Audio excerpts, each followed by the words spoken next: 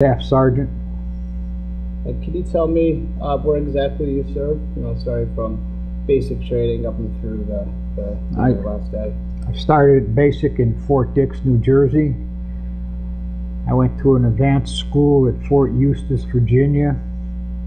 From there, I went to Fort Sill, uh, Oklahoma, and then Vietnam.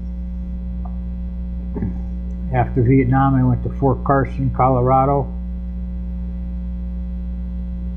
And from Fort Carson, I went to Fort Wadsworth, New York and then I was discharged. Then I went back in in 1974. I was started at uh, Fort Leonard Wood, Missouri. From Missouri, I went to Fort Polk, Louisiana. From Fort, Fort, Fort Polk, Louisiana, I went to Fort Eustis, Virginia and then back to Fort Sill, Oklahoma. From there, I went to Fort Campbell, Kentucky, and from there, I went to Hawaii. Wow, you've, been to uh, a lot of different Yeah. places. I have. Uh, is there a favorite place that you were at uh, out of all of them? Uh, probably Hawaii. Hawaii? How long were you stationed in Hawaii? I was stationed in Hawaii from February 1976 until June 1980. So going back to before you went to Vietnam, you told me that you enlisted. I was enlisted Now, where were you living at the time that you were enlisted? in New Britain, Connecticut. New Britain. And um, why did why did you decide to uh, to enlist? Well, the country was at war, and I felt my my father was military, and my grandfather was military. So I decided I wanted to join. I wasn't wasn't ready for college at that time. Um, you said your, your your father and grandfather were in the military. Where did where did they serve? Uh, my grand my father served in Italy during World War II, and I'm really not sure where my grandfather served. Were they both in the army? Yes, Now, why did you pick the uh, the branch of service that you joined? I felt they had more opportunities for education and different jobs. Now, do you recall your first days in service? I certainly do. Can you tell me uh, what it felt like? Uh, you know, I wondered why I even joined.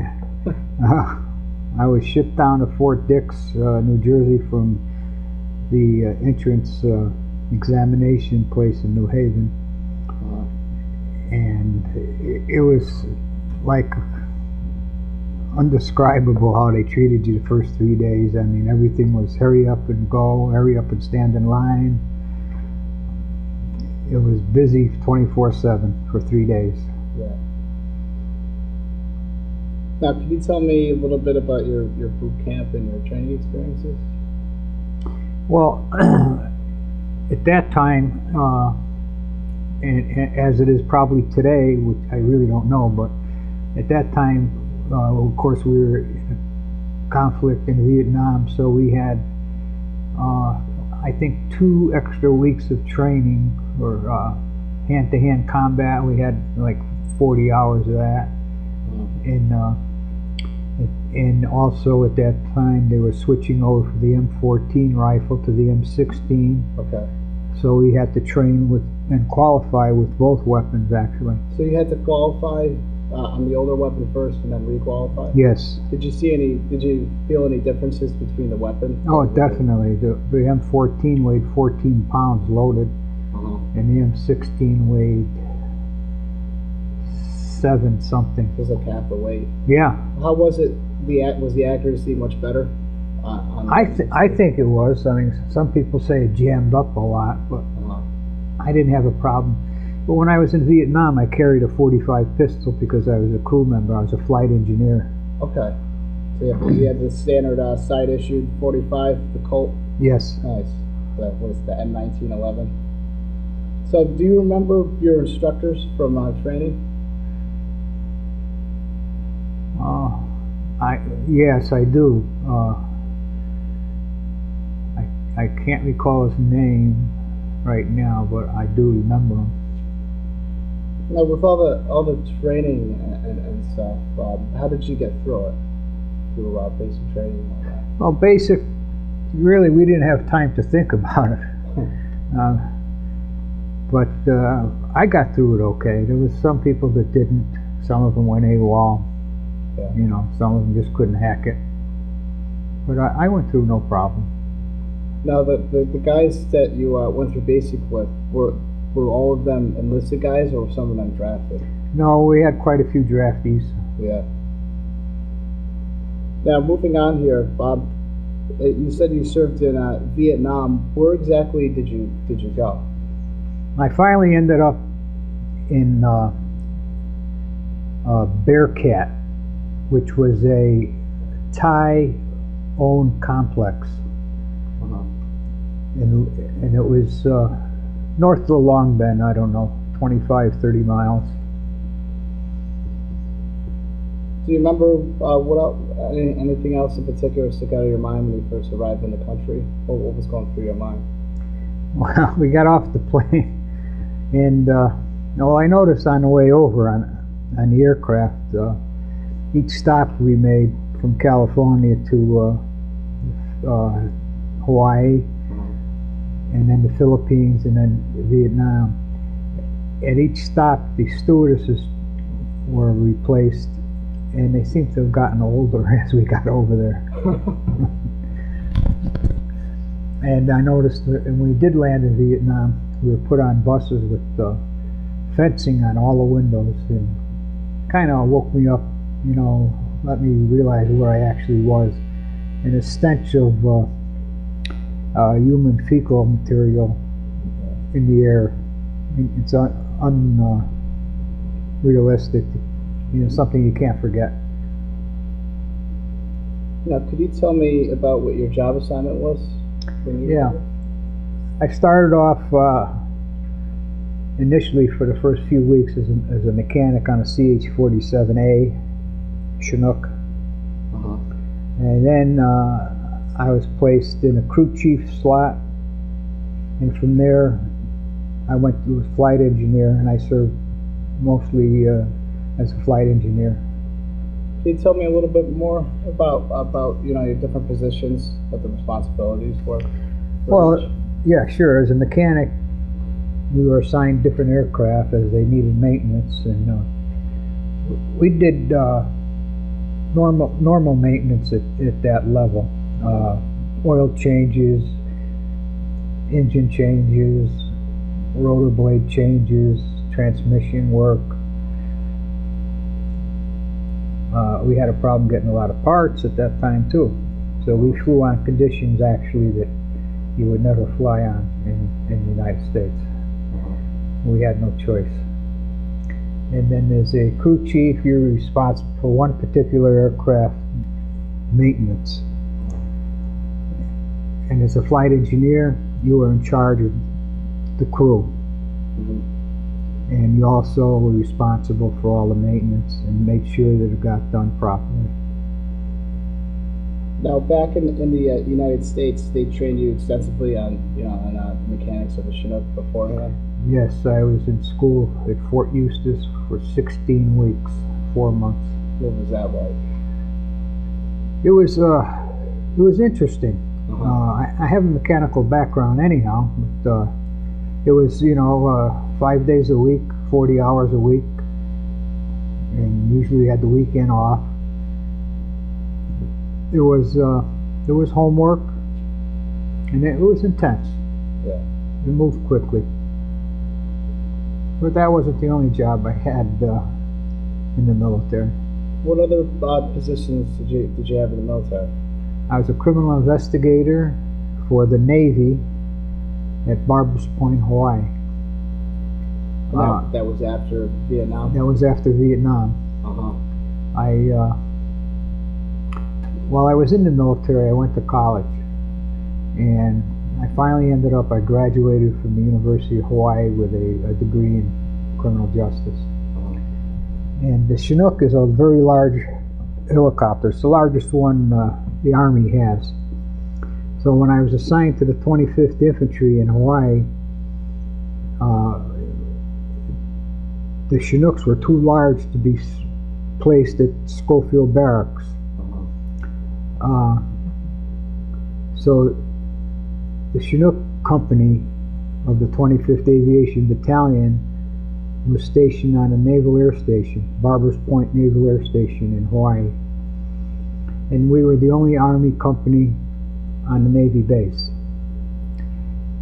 The Army had an inter-service agreement to provide one person to the uh, military police in the, in the Navy.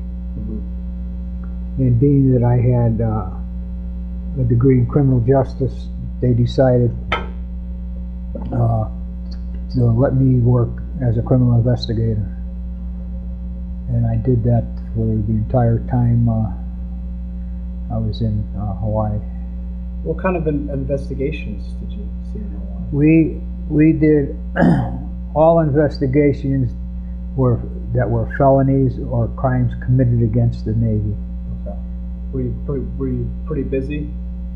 Yes, there was only uh, six investigators for the whole base, and uh, we were required to be on 24-hour duty every third day. So we usually got called out in the middle of the night. Yeah. Now moving back uh, back some years uh, into Vietnam, uh, did you see any comet when you were over there? Oh yeah, I uh, I flew approximately 250 combat hours, received uh, nine nine air medals for that, and I, and I had a, a 10th air medal with a V device for heroism when we were shot down. Uh, Halloween morning, 1969, we were shot down. What happened? We received uh, enemy fire at 2,000 feet. And the Chinook is one of the few aircraft that you cannot control without hydraulics. So we just spun around with the wind until we hit the ground. The aircraft commander was uh, killed instantly.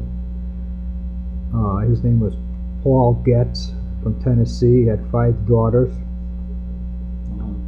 And if it wasn't for his experience, I probably wouldn't be here today because very few people ever lived through a Chinook crash. Where were you positioned in the in the aircraft? Well, as the flight engineer, I, you know, just walked around the aircraft inside and checked everything visually. And uh, when we when we got hit and started spinning, I grabbed onto the seat and just held on. Yeah. And then when we crashed, I was uh, temporarily knocked out. My helmet was ripped off. My gun was missing. My pistol. I was I was bleeding in the face, over my eyes. I didn't know, but I had two broken knees at the time, and uh, my left arm. And I walked out of the aircraft. It was on on fire. Uh, they told me they didn't know how I got out of the aircraft because the aircraft crashed across a ravine, and uh, I guess I jumped. I don't, I don't know. And I was walking away from the aircraft, kind of stunned, going into shock, and I realized I had no pistol, uh, and no one else was around. The aircraft was in fire, so I said, "Well, I'll just go back." and I heard the uh, assistant pilot. He was kind of screaming, and he had broken both of his legs, which is common in, an, in a helicopter crash. uh-huh. Uh, so I helped pull him out. Was he still in his in a? He was in his seat. He was in his seat. We, uh, I, I helped unbuckle him, and we lifted him out. And I was no more than a f two feet away from the aircraft commander, and I never, never saw him. I, I don't know why. I'm sure I was bumping into him, but I never did see him. He was uh, pretty well messed up. Yeah. And uh, so shortly after, we had air support in the air that uh, was fantastic. We had, I don't know how many aircraft flying around us in support. While we were, we were spinning around going down, I did notice there was people in the jungle area running around, and I didn't know who they were.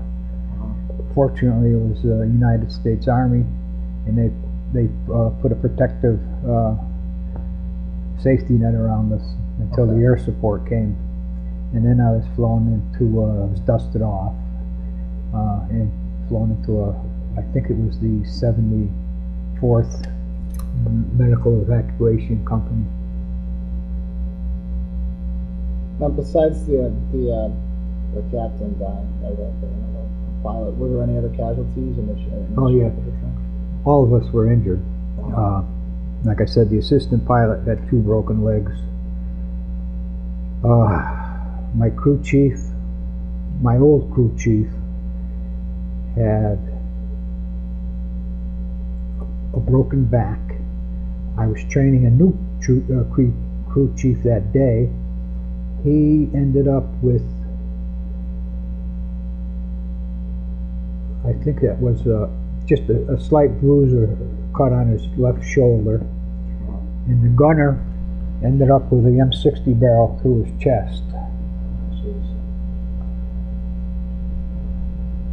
Now, could you tell me about a couple of your most memorable experiences while in Vietnam, or in the military in general? Vietnam is something you don't forget. I mean, uh, there were things that were going on all the time, and you know, sometimes you, you remember them, remember them all the time. Sometimes, you know, they, you know, they flow in and out of your brain. Uh, a lot of the artillery at night uh, kept us up. We were we were uh, mortared almost every night in, in the complex, the enemy. Uh, the maintenance hooch was hit one night, and all of the cooks were injured. Really?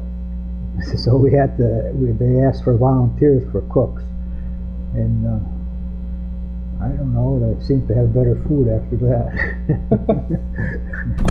but the food was good. We, we got all fresh food over there. That's good. So you had fresh milk? Yeah, we had fresh Yeah. milk. We had fresh meat and vegetables. That's great. Now, when you were airlifted out and, uh, and, and dusted off, what, what was it, by the 74th Medevac company, where did where did they take you to? To the 74. To the 74th? Yes. And then from how long were you were you there for? I was only there a short time. Uh, unfortunately, they had uh, local Vietnamese as, assisting in the hospital area, and they they uh, I don't know. I was partially in shock at that time, but I recall that they washed my wounds off, and then they put paper tape around my knees, right over the the open flesh wounds, and. Uh, and then I was flown back to my company area, and they brought me on a stretcher to my uh, living quarters. And I guess I fell asleep. I don't know. I woke up and my knees were blown up like balloons, and the pain was unbelievable. Yeah. So there was a hooch, hooch mate in the, in the area, and I told her to go get the first sergeant. He came over, he looked at me, and he walked out, and he called the uh, the local dispensary, which is actually uh, like a ten bed hospital Uh-huh. in, in in Bearcat. So uh, the ambulance took me there, and I stayed there for almost three weeks. They ripped off the tape, which was not fun Oh no. and I ended up with a cast on both both legs and my left arm. Well, how long were you out of commission for? I well, I didn't I didn't go back to, as a crew member. Uh-huh. Uh, usually, you, they don't let you fly again if you, if you lost consciousness or anything like that. So I was uh, that happened. Uh, uh, like I say Halloween morning, Uh-huh. '69, and I uh, I stayed there almost till November. Well, I mean uh, the end of November. In December, January, February, uh, I, I was in charge of the NCO club. And then after February, were you sent back home? I was sent back home the end of February, and that's when I was sent to Fort Carson. First, I had a 52-day convalescent leave at home, and then I was sent to Fort Carson, Colorado. So you went back home to New Britain. Yes. Now, when when the Chinook went down, uh, and, and you realized that you were out in the field unarmed, were you worried about being, you know, captured as prisoners Sure. of war? Sure. Yeah. Especially that I seen people running around in the jungle. I didn't know who they were. Yeah. And that's probably one of the reasons that I went back to the aircraft. Because you realized that perimeter was secured. Yeah. Well, I didn't know at that time it was secured. In fact, I didn't know until I got out of the hospital. Yeah. Were there anybody else, you know, uh, within your uh, your unit that was captured by by the Vietnamese? I don't believe we had any POWs in our unit. Can you tell me about uh, uh, if you were awarded, or I know you were awarded that, you know, the medals and citations, but can you, can you tell me a little bit more about about them? Well, the Army awards you an air medal for every 25 combat flight hours. And not every mission is, is listed as a uh, camp combat hours.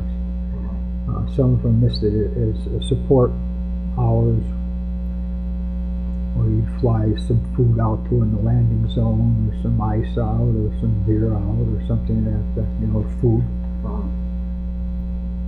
And uh, like I said, I got about 250 combat hours. We were actually flying into uh, uh, uh, enemy, well, enemy territory was basically all over Vietnam. You didn't have any friendly lines per se. But uh, we, we flew into hot LZs. One, one instance, we flew into LZ Rock, and it was receiving artillery and enemy fire from three different sides and we flew in to extract the people there. And of course, we flew into a side that wasn't the open side, it was one of the sides receiving the enemy fire. That worked out okay. I guess we got a few rounds in the aircraft. Yeah. Of course, we always inspect after we do a mission, you know, to find some holes here and there. That's happened several occasions. Yeah. What were they using to uh, to fire at the aircraft? At the, the weapon? Oh, they they fire anything they could get their hands on at the aircraft. Uh, uh, they they also had a, a unique uh, system where they pull a pin on a on a grenade and then run tape around the grenade to hold their handle in place. And they had it down to a to a science where they they knew how long it would take for the they dropped the, the grenade in their fuel tanks. And they knew how long it would take to disintegrate the tape. So they would they would uh, wrap enough uh, times around the, grenade. So when we were getting up in the morning and, and prepping for flights that's when the grenade went off and they put out a few of our aircraft that way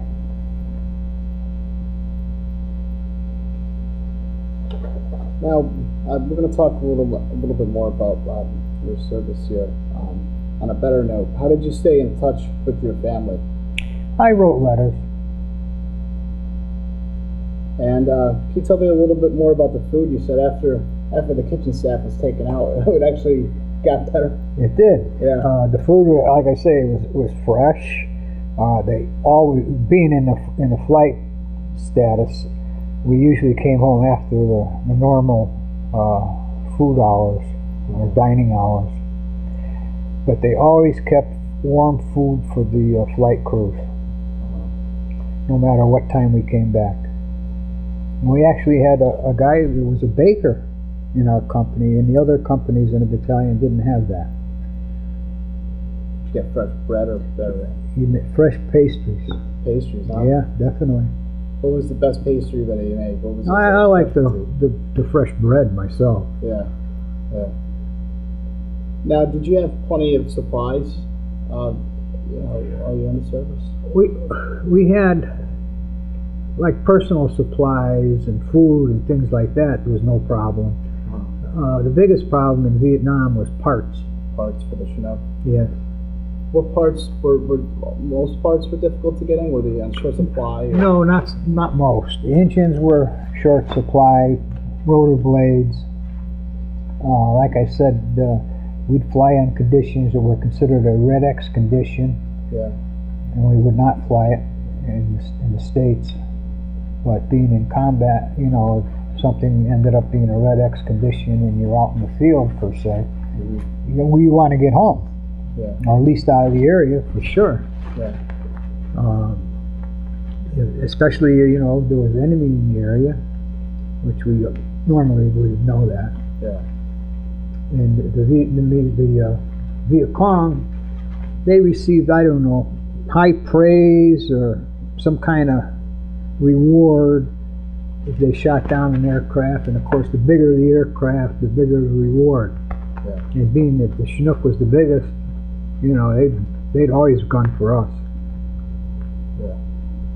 That do you do you question why they um, they were short in supplies? Do you think it was just you know supply and demand, or I believe it was supply and demand. I didn't know at the time, Yeah. you know, the uh, supply system.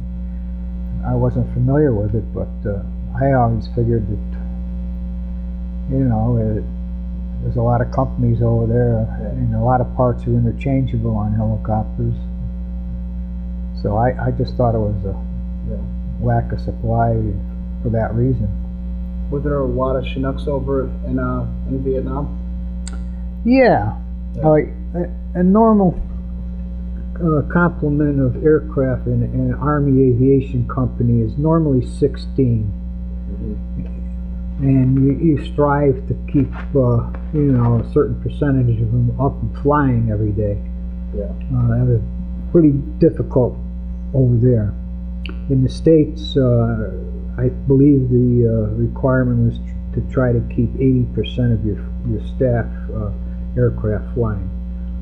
Uh, it was a little easier then.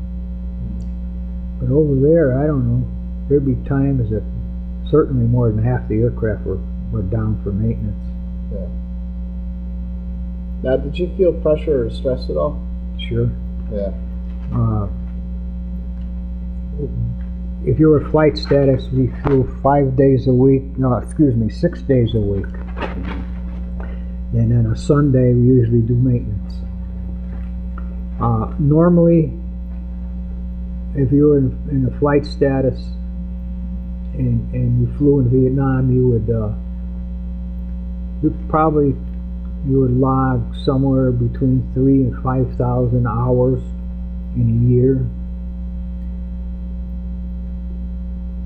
And if you, if you were in the States, you probably wouldn't get that in a 20 year uh, span.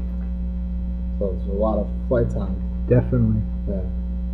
We'd go out before sun up with a flashlight to the flight line and come home with a flashlight. Wow. To be out all day. Oh, yeah, That's been tiring. definitely. But you, you got used to it, you know, and, uh, and made the time go by. Right. Now, was there something that you did, you know, for, for good luck at all? Good luck. Yeah.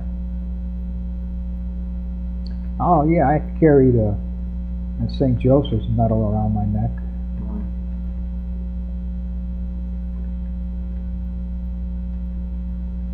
Now, how did people uh, entertain themselves over that? Well, i in our fire support base, Bearcat, we, uh,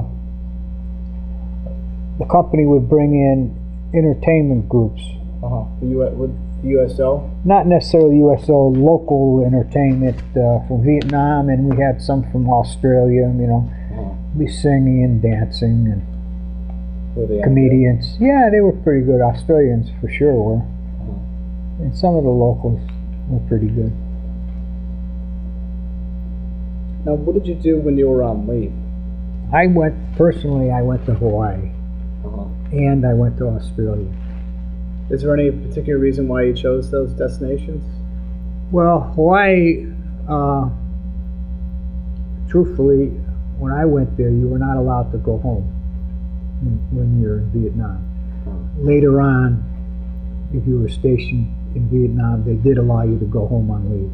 Yeah. But when I was there, they didn't allow you. But I, I, I went to Hawaii with the intention of, if I thought I could get away with it, I would fly home, Yeah. which I did, Yeah. and there was no problem. Australia, I figured I'd, I probably would never get there as a civilian, Uh-huh. and I was glad I went. To Australia. Yes. Did you have a good time though? Yeah, it was very good. They had a program called the, I think it was called the Persina program, where they had local girls. I guess they interviewed him and they allowed him to go on dates with the soldiers. You know, Yeah. and uh, I ended up uh, with a school teacher. Her name was Noella Parks. She was from Bankstown, which is adjacent to Sydney.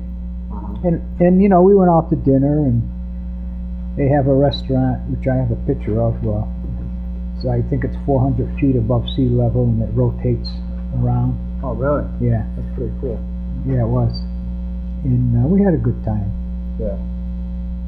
Now, when you were in Hawaii, said you, you, you were able to make it home. Oh yeah, Yeah. Well, how long were you home for? What, what was it oh, like? maybe seven days. Well, when I got home, nobody was home. Well, of Yeah. course, I didn't tell them I was coming. And then I happened to notice on a table, my mother had left an invitation to a wedding, which happened to be my uh, first cousin. Uh huh. So I went to the wedding and I walked in. They must have been shocked. they were. They Yeah. were. Were you in civvies? No, I was in uniform. Yeah. Except I flew, I had to fly in uniform, and Yeah. I'm certainly not going to take, uh, you know, a bunch of stuff on, on leave. Yeah. So I went in uniform, and it was it was a shock. Yeah. It was fun. It was good. You know, uh, I guess they didn't want you to go home because you probably wouldn't want to go back. Uh huh. But I didn't mind it. I kind of like flying and you know helping people. Yeah. Is there anywhere else that you travel while in the service besides uh, that to uh, Hawaii and Australia? Uh, that was when I was strictly in Vietnam. Those two places, but uh, oh, I traveled a lot of places. Uh, I was stationed in a lot of places. on you know on a long weekend or a four day weekend or something, the younger guys would they'd go to the local gin mill, you know, and Yeah. they put on the leaf papers that they were going to be stationed at. Uh, one place was called the Cow Palace in uh, down at Fort Campbell, Kentucky. And you know they put that down for a leave address, and some of the kids stayed there. You know, uh, or they didn't actually sleep there, but they went back and forth every day. And Yeah. Just drank. You know, I was. I don't know. I was. I, I was older. I grew up a heck of a lot when I left Vietnam, and, and I wouldn't do that. I, you know, I. I remember one time I was stationed at uh, Fort Campbell, Kentucky, and I actually drove out to Fort Sill, Oklahoma, Mhm. on a four-day weekend to see some friends of mine out there. So were they service friends? Yes, Yeah. yeah. That's good. Now, do you recall many particularly humorous uh, or an unusual event that occurred? Oh, there was probably many of them. I had a a friend. I made a friend in basic training. Uh, this gentleman was from uh, New Jersey at the time, and he had just gotten married before he enlisted. And uh, we ended up going to Chinook school together. And uh, at the end of Chinook school, I think it was within a day, either before or after we graduated, his daughter was born. Uh-huh. And um, we ended up in the same battalion, 25th Aviation Battalion. Uh, excuse me. Wasn't the 25th? 220, 228th, I think it was. Which one? I think it was. Uh,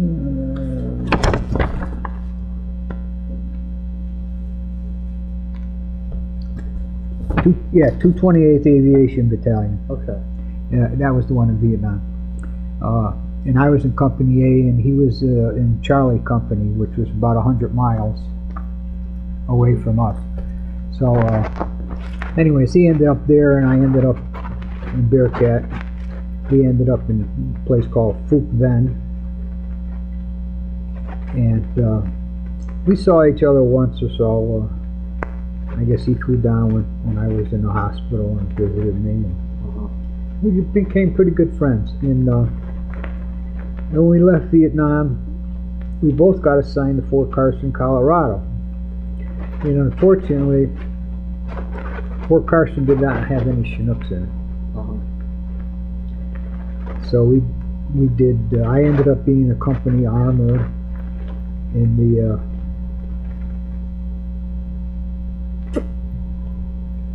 was a mechanized infantry unit, tanks, and I can't recall the name of the unit. But I was there, and he he had his had brought his wife and child with him from New Jersey when he went out to Fort Carson, Uh-huh. and he was a kind of a guy that was hard to wake up in the morning. So when we processed into uh, the reception center, uh, that usually took a day or two, and then they, they assigned you to a company. Well, I was assigned to one, he was assigned to another, and the company he was assigned to had over 400 people in it. Normally, an aviation company, pilots and, and enlisted usually was like 125 in that range. And this company had 400 or so. And that was because of Vietnam, I guess, was winding down a little bit. And they had people, uh, you know, stepping over each other. They had assigned jobs uh, like 24 hour uh, fire watch on your barracks, and then you're off the rest of the week type thing. Yeah. Well, he processed into the reception center, and then he got assigned to this unit, and he went, he signed into the unit, signed into the mail room, so he'd get his mail. He, of course, he lived off base in the apartment, and then the next day, he didn't wake up in time, so he said, well, I'll go in tomorrow.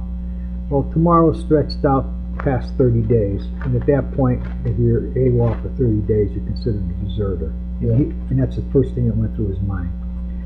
Uh, fortunately,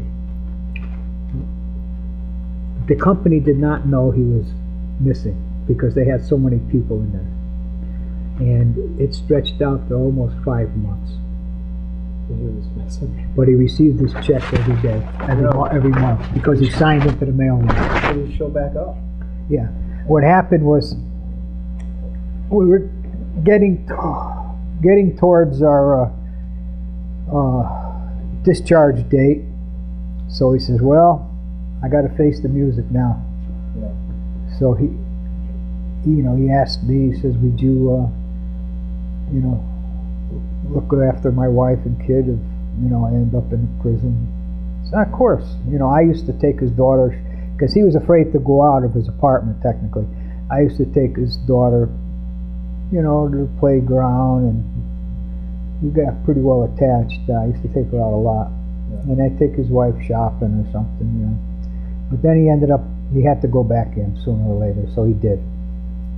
And he said he told me he said, well, he walked in the first sergeant's office. He says, I'm here. And they looked at. us and said, Who are you? Just for it was it was really luck on his part, and, and that's all it was. It was luck. From the time he first signed into the company to the time he walked back in five months later, there was a, a company commander change and a first sergeant change. Yeah. So they certainly didn't know. No. No. They gave him an Article 15 and the punishment was a hundred days of extra duty. Huh. And he never served a day. they made him the mail the mailman in the company Yeah. And he never served a day of extra duty. And Did he still show up for? oh, he was also fined a hundred dollars a month for three months. And uh, he could he put it to a contribution of his choice. Yeah. And uh, normally that's obviously a court martial offense. Yeah. But he, he probably could have got away with nothing if if he pressed it because the first the first step of being AWOL is the company's got to know and they got to report you AWOL, He never reported it. and they would look like a fool, Yeah. you know, if they brought it any higher than that. So, but he made out okay, and I uh, I talked to him and his wife and his daughter now, who's approximately I would say 42 Wow. and uh, I talk to him on email or Facebook every every other day or so. Yeah. Was there a reason why he, he didn't he didn't show up? He he was just tough to get out of bed. Yeah. He really was. You have to put a bomb under him to wake him up, you know. Yeah. And then, like I say, a, a week went by, and then he was nervous, and then 30 days, then Yeah. He says, I, I, you know, I might as well stay out now. But he really lucked out though. He, oh yeah, I've never heard it.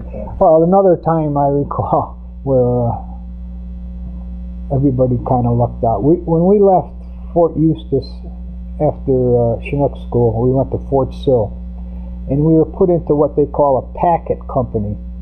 It was the 19th Aviation Company. It wasn't a real company; it was a packet, which- which means that they were building up, building up this company, and they were going to go to Korea. Uh, the guys were slowly coming in. Uh, most of the guys from my uh, Chinook school ended up out there in Fort Sill, and we had some other people uh, who had different a different job. You know, they came from different schools into the company. What year was this? This was in uh, 1969. 69. No, at first it was 68 68. yeah, November '68, we were building up, and uh, we went out to Fort Sill, and, and my buddy and I, the one uh, that I just told you about, we ended up in the cadre rooms in the front of the barracks. These were old World War II barracks, Uh-huh. and they had a broken window in it. And this was November out in Fort Sill. It was windy as heck Yeah. and cold, so we hung a blanket over this window. And uh, our responsibility after we signed into the post, our responsibility was to go to a formation uh, across the street and, and stand formation in a, the 154th Aviation Company. That was an established company. And they were they were having an IG inspection at the time, you know, a, a week or two week inspection. So they didn't want to be bothered with us, you know. They didn't take any head counts or anything. We went to the formation, and after formation, we went back to processing the post or whatever. Well, we didn't go to the formations. We slept all day, and around four o'clock, we got up and we went downtown, and played pool, and Yeah. drank beer all evening and then went back. We did the same thing. Well, uh, when we first got there, like I said, it was a broken window. So we put a request in to have it fixed, naturally. Well, it was probably uh, December sometime they fixed it. So we came home. Like three weeks. Oh, easy. It could have been later. But, uh, anyways, we came home from one of our drunken evenings and we had locked our keys. And the, this was the same day they fixed the window. We locked our keys in our room. we broke the window again. How long was it broken for? oh, it, it was broken until we left. And, uh, anyways, uh, we finally got up to a status where we were ready to move over to Korea. And one morning, it was just before Christmas, we had a formation, and uh, another unusual thing was we had a, a warrant officer as acting company commander, and a spec six as acting first sergeant. And warrant officers at that time were not commissioned; they couldn't hold the Yeah. commander's uh, slot, and the first sergeant was not a spec six, the same thing as a staff sergeant. Yeah. But they were acting. So they called us in the formation one day, and they called out a bunch of names in the formation. They said, "You guys go in the supply room, and we'll talk to you." We went in there, and he said, "Well, I don't know how to tell you, but I'm just going to come right out and tell you. You guys are going to Vietnam. You're not going to Korea." We didn't care. We were young and dumb, 18 years old, Yeah. uh, 19 years old. Army never sent you into combat unless you were 19. I don't know if that's changed. Uh, anyway, uh, we all went home on leave, and it was a snowy winter. And I couldn't get back because of the snow out of Bradley Field. We were, you know, locked in for a while. So I came back like 10 days late. Yeah. And I walked into the company and I seen this acting for a sergeant. I said, well, you know, I'm 10 days late. Well, if they say anything in the order room, tell them that you told me and I must have forgot about it. Yeah. Yeah. So, uh, I did. I told him, I says, I talked to the first sergeant. And I never heard anything again until I got discharged in 1971. And they questioned you on that? They took back the money for 10 days. Oh. jeez. That's cheap, and we are only making. When I went to Vietnam, I was a uh, private first class. We were making $153 a month. A month? A month. Wow. Oh, when I was in basic, it was $95 a month. I was making 153 plus we had combat pay. I think it was 65, and uh, I, I had flight status. It was, and it was 55 for that too. Yeah. And of course, this was all tax free. So it was a lot of money Yeah. uh, compared to today. Like I said, when I went in, it was ninety-five dollars. Today, it's over a thousand Yeah. for a guy that's in basic. And the living expenses and Oh. food and stuff's all taken care of, so should be able to save a little bit of that. I lived on forty dollars a month Really. in Vietnam. That's all. I didn't need it. You know, I mean, soap, toothpaste. Yeah. We weren't allowed uh, to buy any liquor unless you were E6 or above. But was it easy to obtain though? E6. Oh, yeah, because uh, we had like the EM club. They had beer, and I, I think they had liquor in there too. Yeah. But of course, you weren't supposed to drink unless you were 21. Even though the drinking age at the time was 18? I don't know. Was it at that time? I think so. I don't remember. Yeah, I think they changed it um, after Vietnam. Or maybe maybe it was around, maybe it was 21. I, I'm not be sure. mistaken. I, I'm not sure. So if you weren't in E6, you couldn't buy it. Not in Vietnam. No. What was your rank, your highest rank in Vietnam? In Vietnam, I was a Spec Five, Spec 5? especially a buck sergeant, Yeah. and that was the normal rank that you'd make in three years if you were halfway on the ball. Yeah. E6 was the hardest rank to make. Yeah. It really is. And then after that, seven, eight, and nine, you would you're promoted by Washington D.C. You know, uh, uh, promotion board. Yeah. They'd look at your records. They wouldn't look at you. Yeah. You know, they'd look at your records and you get promoted Right. according to your records. Right. I got when I got E6, I got uh, I got promoted. They waived half the time for my time in grade and half the time for time in service. The average E6 was 10 years in the military. Yeah. I made it in uh, five years. Good. It was, yeah. Now, looking back, were there ever any pranks that you or others would pull on each other? You know, to pass time or any jokes? Any guys would do each other? Jeez, I'm sure there was. Do you remember any in particular? I can't seem to put my finger on anything right now. You're talking over 40 years ago. I mean, there had to be. Uh, Yeah. oh, I remember.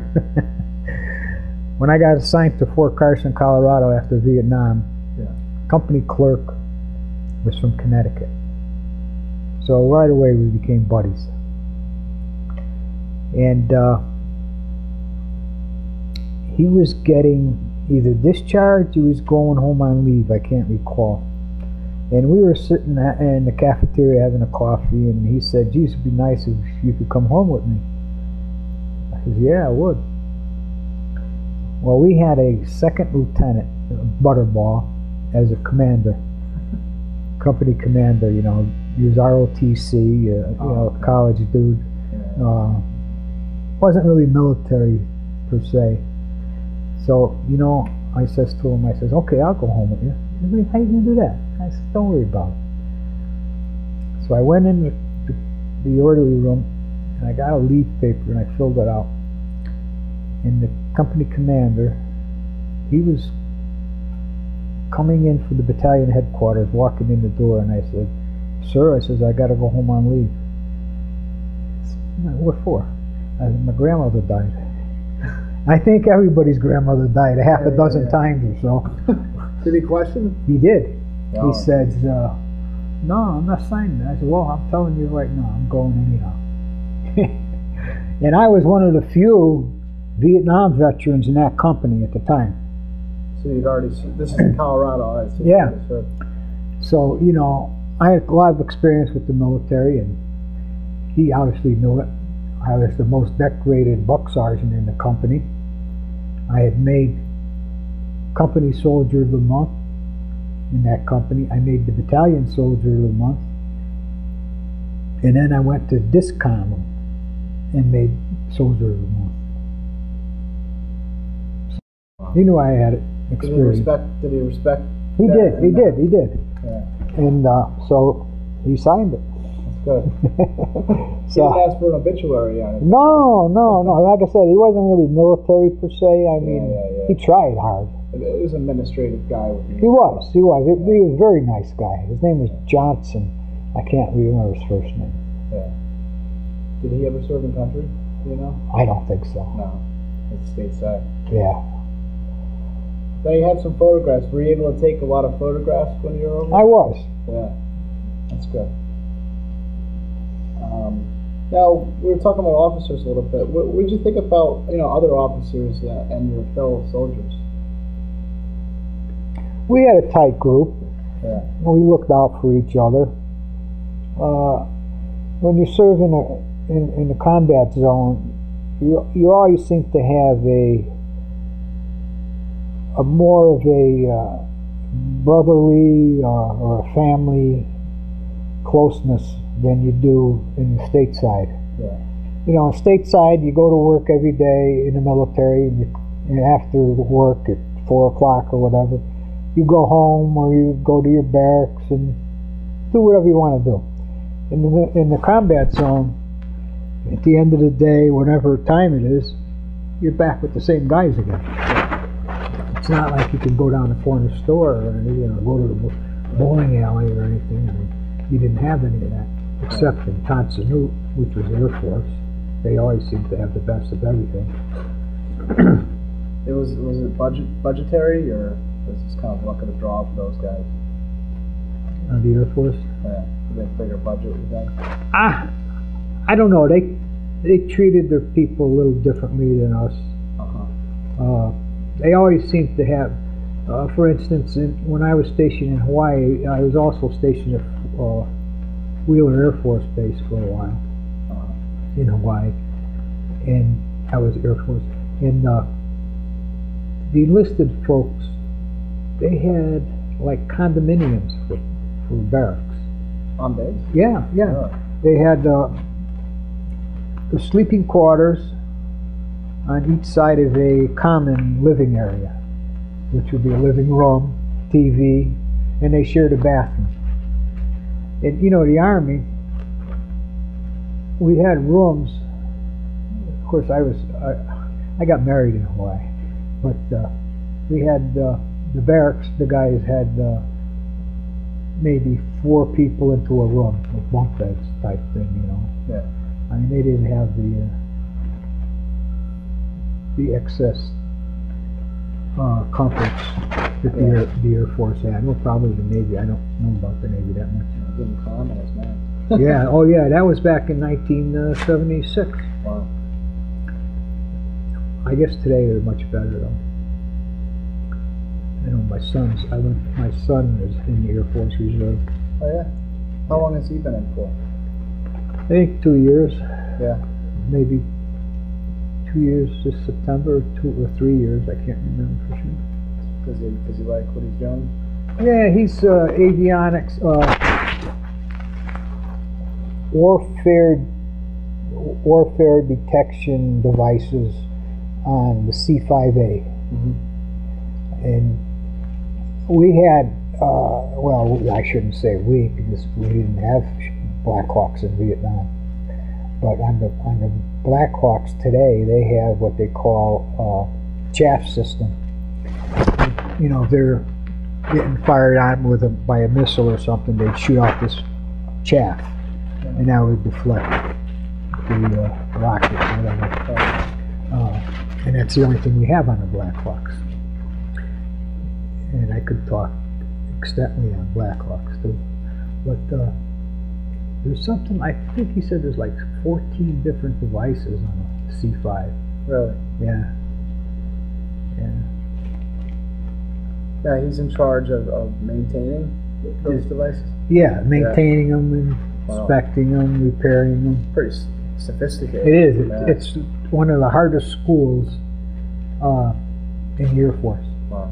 I mean, they had a class of, I want to say six. Wow. Yeah, That's pretty pretty elite division of you then. it really is. Yeah. I flew down to Texas when he graduated from this school. And he went to school for like two years. Two year program. Yeah, so it must be three years in September. Wow. Well, I include basic, you know, two two months there.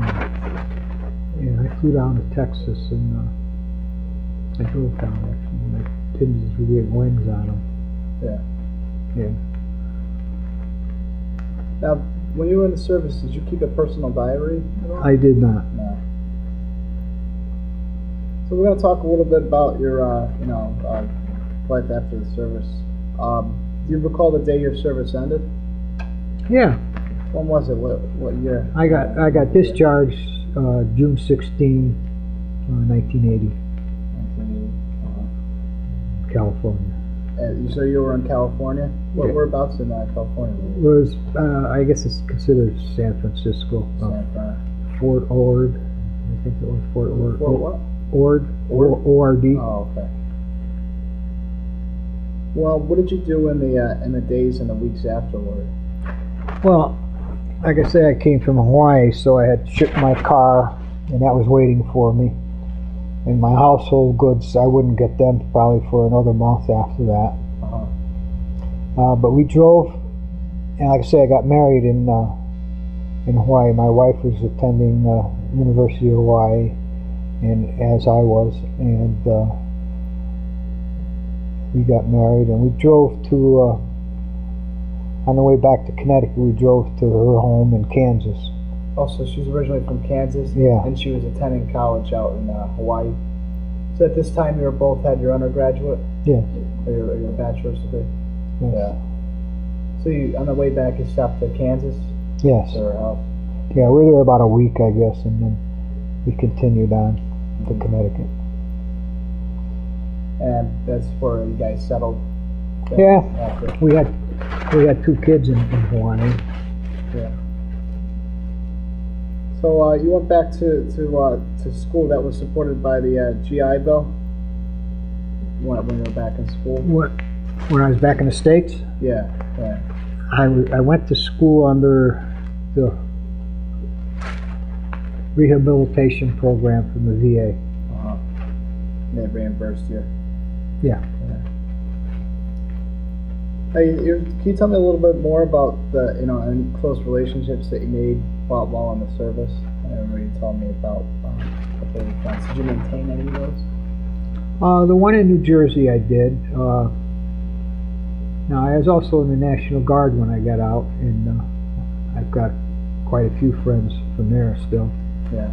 Uh, most of them are retired from the Guard now, but uh, in fact, I had uh, lunch with one yesterday Uh huh. He's he lives in, in the in area. Newington. In Newington. Yeah. Um, have you joined any uh, veterans organizations? I'm a, I have been a member of Disabled American Vets, the VFW, and American Legion. Now, what did you go on uh, doing for uh, for work for a career after after the war? Well, let's see. Uh, when I first got home, actually, I had lined it up before I got home, being that I had a family now, you know. I, You I had kids at the time when you were traveling back. yeah. Really? How many kids did you have? I have two kids that were born in Hawaii. wow. Okay. And my daughter was uh, six weeks old. I was supposed to get out in February of 80, but my wife uh, was due in April with our daughter. So uh, I requested an extension until I was hoping to get a six week checkup done. Yeah. And uh, what the Army did, they extended me from February until June, That's great. so it was actually more than six weeks. Yeah, I was surprised. Yeah. Uh, and my son was born 14 months before. Uh-huh. But uh, when I first got out, like I said, I had lined up a job while I was in Hawaii. And I worked as a security guard at the uh, uh, the East Hampton uh, nuclear power plant. Uh-huh. And at the time, it was great. They had paid full medical for my family. Yeah. And the, and the pay wasn't bad, but of course, I had to get something better, you know. Yeah. So I ended up, I went to the state, I was a state police protective officer. Okay.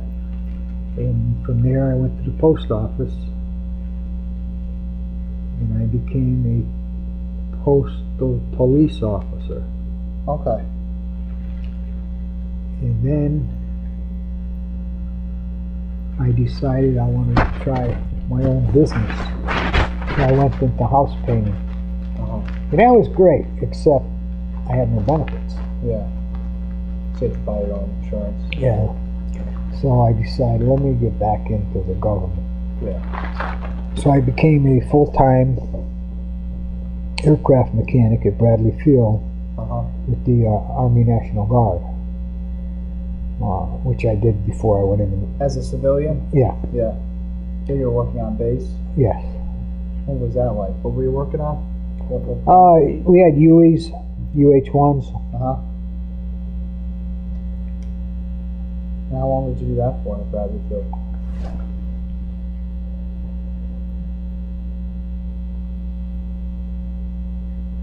about five months.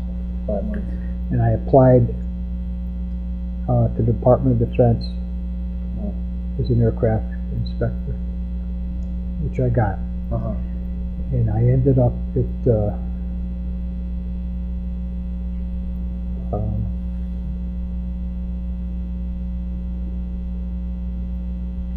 right across from Bradley Field. There's a factory, Hamilton Standard. At that time, it was Hamilton Standard. It's not now Hamilton Sundstrand.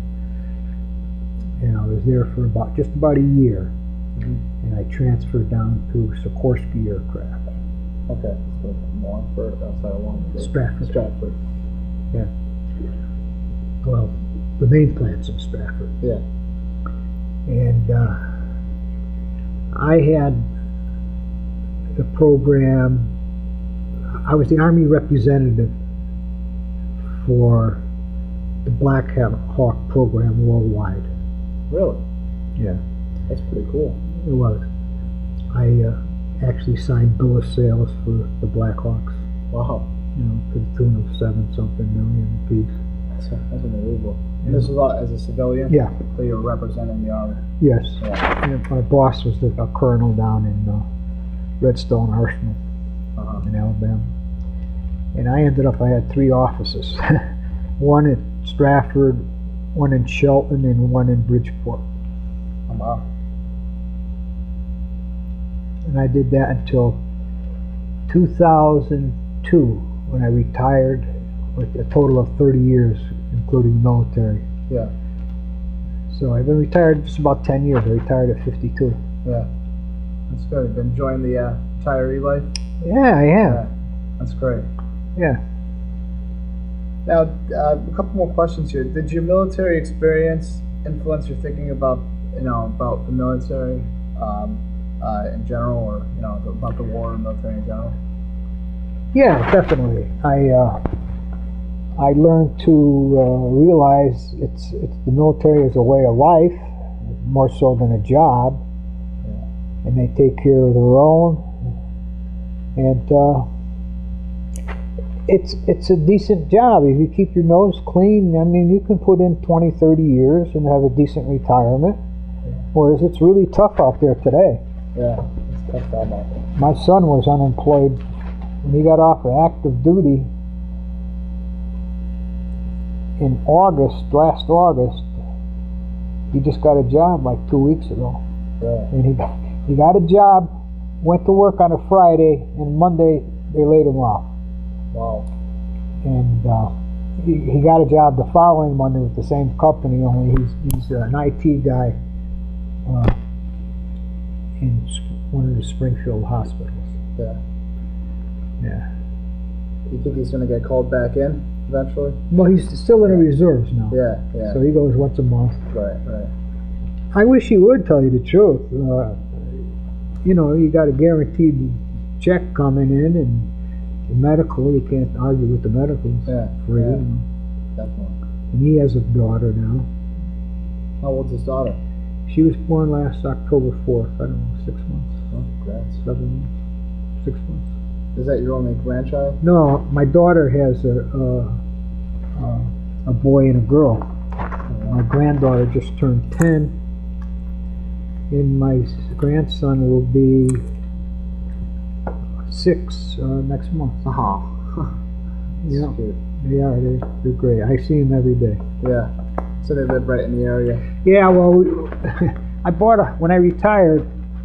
We, well, actually, in 1994, my wife, she's always been a uh, VA, FHA loan uh, underwriter Uh huh. for, for like 25, 30 years. So uh, at the time, NationsBank down in Charlotte, they recruited her and moved us down there to Charlotte. Charlotte. Yeah. Cost them like 20 G's to move us. They paid for all the. Every, everything, a trip down there to, for me to see it and her to see the area and everything. And uh, we bought a house down there. And in the meantime, I took six months leave without pay. And I couldn't get a job down there. I was supposed to have one, but there was a big change in the government uh, storefront operations. And anyways, I couldn't get a job. What year was this? 94. 94. And uh, so I, I came back January 1st, 95. And my wife had to had to give him a year. That was the deal. Yeah. Uh, so she did. Uh, well, they, her and the kids stayed there until June 2nd, I think, of 95. And then I went back down, them back up. And uh, uh, she became an underwriter in, some local bank up here. Yeah. So uh, then I built a house in Southington, Uh-huh. Connecticut. And then when I retired, we went back to South Carolina. Okay. And uh, I still have a house down there now Whereabouts? in York, Okay. right under Charlotte. Yeah. yeah that's the area. Yeah. And uh, yeah, I got a six-year-old colonial four-bedroom house. down That's great. Do you vacation down there a lot? there. Not so much now. Yeah. Uh, we moved back mainly because of the grandkids. Yeah. And my so- daughter lives in Coventry, Okay. and I live right on the border of Coventry. Yeah, you're right there. Yeah. So that's good though. So you get to see the kids. Yeah, that's we we moved back for that reason, so I figured we might as well move closer to them. That's good. Now, you said you're in some uh, the you know veterans organizations. Uh, what kind of activities does your uh, poster association have? Well, I'm not that active in any of them. Uh, Uh-huh. when I was younger, I was. Yeah. Uh, we had a military ball one particular time I was active, and I was the chairman of that. Uh, did you ever have any reunions? No, we haven't had any. Wow. Now, a couple more questions here, and uh, that'll pretty much wrap things up. Um, um, how did your service and your experiences um, affect your life? Well, it, it gave me uh, a lot of experience on aircraft. Uh, it provided me with a, a nice job with my experience. Uh, Yeah, pretty prestigious job. Sounds like a cool job. And I also had uh, the presidential program for the CH-53, the Marine uh, CH-53. Uh, What was that about? well, they made six 53s for the, the president's squadron, and their their duties were to carry camera crews and the press and, and his limousine. He didn't fly in the to carry CH. the limousine? Oh yeah, Yeah. he didn't fly in the CH-53. He's, he flew in the uh, he flies in the SH-3 and the the Black Hawk Yeah. uh, derivative of the presidential. And uh, uh, the second CH-53 in his program came off the off the production line. This was in '96, and it crashed on a tarmac in Sikorsky. Huh. May I want to say May 10th. Test flight? Yeah, it was in test flight status. What, what happened? Everybody got killed. There was four people killed. And it burnt up to a crisp. And they found out that I I was coming home from lunch and coming back to work from lunch with my buddy, and I seen all the ambulances and the fire trucks and everything. And I said, "What the hell's going on?" And I found out it crashed. You know, I had released that aircraft for flight that morning. Oh. That was one of my jobs. I released the aircraft for the first flights. What happened? What, what failed? Well, fortunately or unfortunately, I was unfortunate the whole thing happened, but it's nothing that I didn't do or Wasn't the Sure. mechanics it was mechanics, but it wasn't. It was something I couldn't see. It was internal. It was the uh, actually the uh,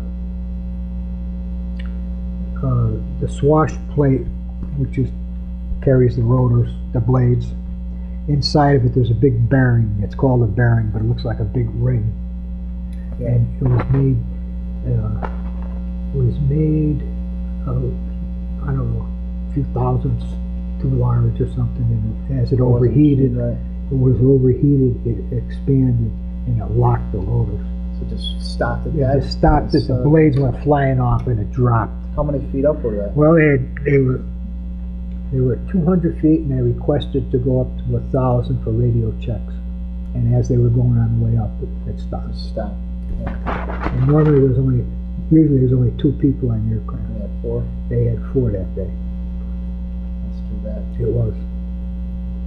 So that, that's pretty much it as far as the uh, the interview goes. But if there's anything else that we didn't cover, if you want to mention, you know, you feel free to, to talk about it uh, at this time.